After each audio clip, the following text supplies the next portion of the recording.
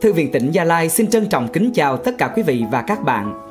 Quý vị và các bạn thân mến, với mong muốn khẳng định vị trí, vai trò to lớn của văn hóa đọc trong việc góp phần nâng cao dân trí, bồi dưỡng nhân cách, tâm hồn, hình thành lối sống lành mạnh cho các thế hệ con người Việt Nam.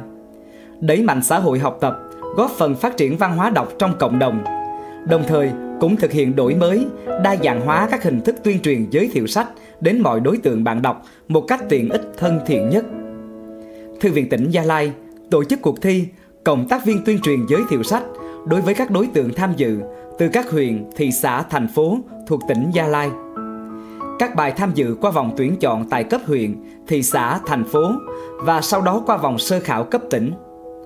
Các bài dự thi gửi đến cuộc thi mang nhiều màu sắc thể loại khác nhau, cách trình bày và dàn dựng vô cùng phong phú đã tạo được nhiều ấn tượng. Và đây là lần đầu tiên các cộng tác viên thực hiện một phần tuyên truyền giới thiệu sách theo một hình thức hoàn toàn mới, nên còn có nhiều bỡ ngỡ. Tuy nhiên, với sự nhiệt tình tâm huyết và một điểm chung mà người xem có thể cảm nhận thấy, đó là mong muốn được trở thành nhịp cầu lan tỏa thói quen đọc sách trong cộng đồng.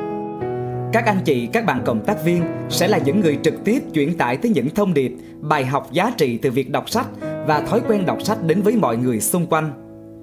Ban tổ chức đã lựa chọn các bài thi, các video đặc sắc nhất để tiếp tục vào vòng chung kết.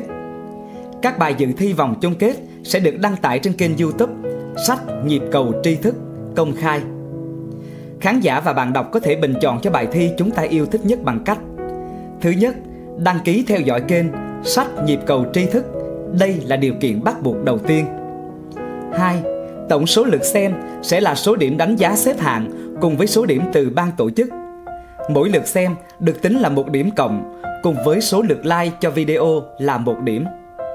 Mong rằng qua cuộc thi này, các cộng tác viên tuyên truyền giới thiệu sách sẽ phát huy được tính sáng tạo đổi mới trong hình thức giới thiệu sách báo đến cộng đồng, hình thành và lan tỏa thói quen đọc sách cùng gắn bó với kênh sách nhịp cầu tri thức để chuyển tải giới thiệu về những cuốn sách hay đến với tất cả mọi người.